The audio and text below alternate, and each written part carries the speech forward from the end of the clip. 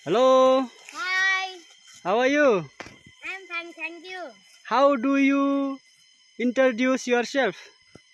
Good morning, dear all. I am Aditya Bika. Okay. I am from Lamjung. Okay.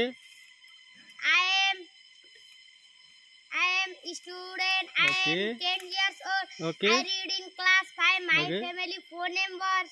Okay. And then? My family phone numbers. Live in Okay. village. Thank you. Alright. You are a great boy. Bye bye.